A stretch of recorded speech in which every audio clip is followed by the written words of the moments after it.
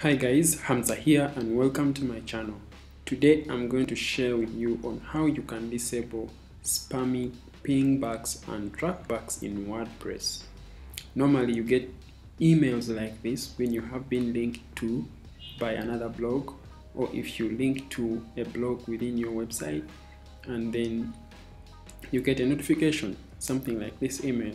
A new pingback on the posts so and so is awaiting your approval, which uh, may be spammy or doesn't make any sense to you. So we are just going to see how to disable that in WordPress. To do that, you have to log into your WordPress website and head over to settings discussions.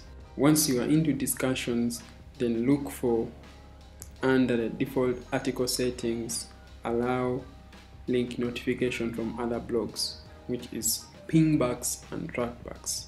And then you deselect that. And then you come down here and say save changes. Now we have disabled new pingbacks that will come when we publish new blogs.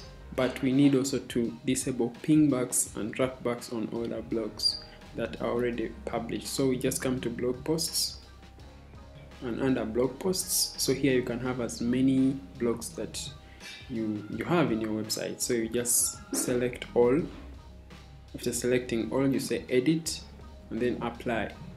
When you say apply, then you come just here on pings and say don't so when you say don't allow it will disable any future pingbacks and trackbacks on already published blog posts i hope this helps out on stopping those spammy pingbacks and trackbacks coming your way through.